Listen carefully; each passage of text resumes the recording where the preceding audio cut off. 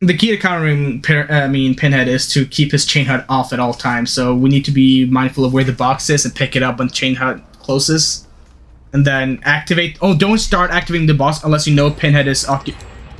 Fucking easy. Let's go. Easy. What just happened? Easy. That was a hacker. if you're wondering.